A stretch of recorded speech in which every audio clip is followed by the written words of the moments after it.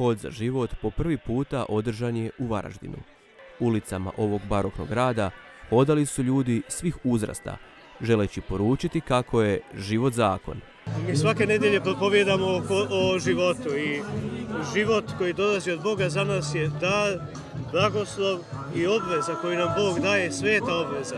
A to što govorimo, što živimo, potrebno je ponekad posvjedočiti jednim hodom. Hodimo, hodimo za one koji ne mogu hoditi jer mi nismo dali mogućnost da hode ili ne mogu hoditi zato što su stari, ali svima želimo kazati da je život Božji dar, pripada njemu, on ga nama dariva, ponekad ga stavlja u naše ruke da ga čuvamo i surađujemo s njim.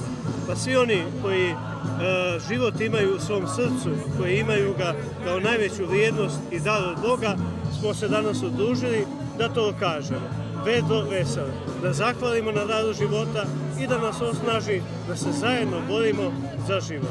Danas je život ugrožen na mnogo načina, a svijet u kojem živimo često nema sluha za one najslabije među nama.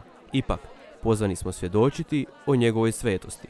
Osjećamo se pozvani evo, da, da hrabrimo druge, da, da kažemo ne možemo to držati samo za sebe. Evo, I to je neki e, način zahvalnosti Bogu za, za sve što nam je dao tako, kroz to svjedočenje to recimo izražavamo zahvalu Bogu.